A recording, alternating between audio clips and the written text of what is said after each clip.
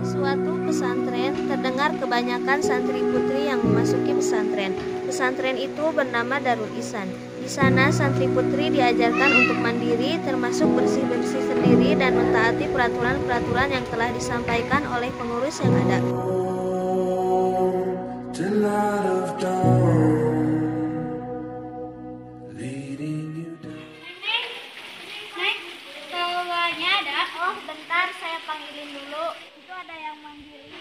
Tangan.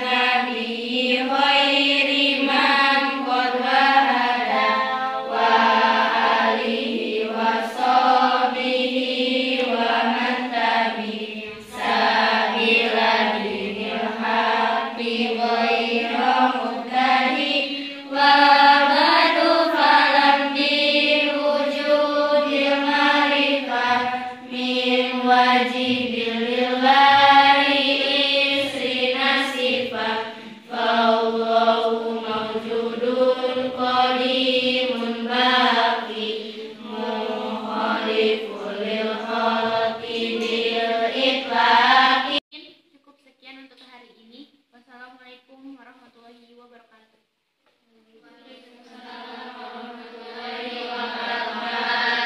Hei, hei. Apaan? Aku punya berita. Iya, apaan? Ya sini dong.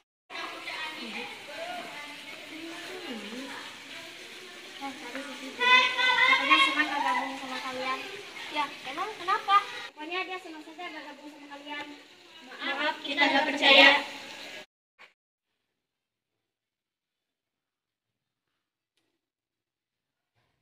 Susi, kamu kenapa? Dari kemarin kok diam terus, gak mau ngomong. Jadi gini,